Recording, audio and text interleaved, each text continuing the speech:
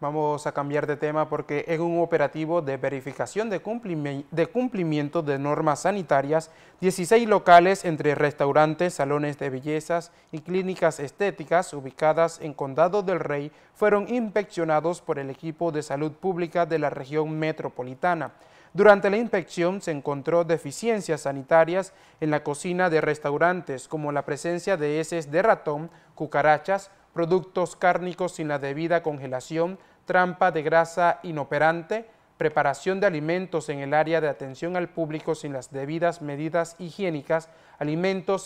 sin, etiquetados y sin la fecha de vencimiento. En cuanto a los manipuladores de alimentos, varios estaban portando carné vencidos y otros de dudosa procedencia. Además, presentaban vestimenta inadecuada, en tanto que también se encontraron locales sin los permisos de salud correspondientes, mientras que en una sala de belleza fue encontrada la irregularidades, fueron encontradas irregularidades como la inadecuada disposición de las navajas, las cuales eran colocadas directamente a la basura y no contaban con los contenedores rígidos para desecharlas correctamente.